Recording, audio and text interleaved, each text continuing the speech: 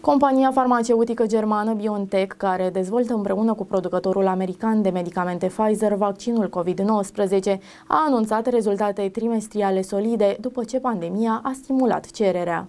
În trimestrul 4 din 2021, compania germană a raportat un profit net de aproape 3,2 miliarde de euro, față de 367 milioane de euro în perioada similară din 2020. Câștigurile pe acțiune au urcat la 12,18 euro de la 1,43 euro în urmă cu un an. Pe ansamblu anului trecut, BioNTech a înregistrat un profit net, profit de 10,3 miliarde de euro la venituri de 19 miliarde miliarde de euro. De asemenea, câștigurile în trimestrul 4 din 2021 au crescut la 5,5 miliarde de euro, de la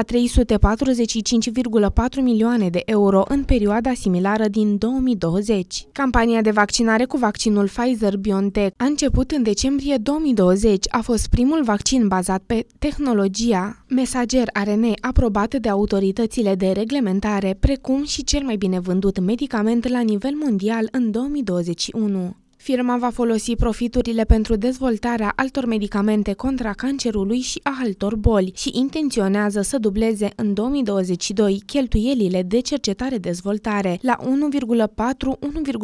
miliarde de euro.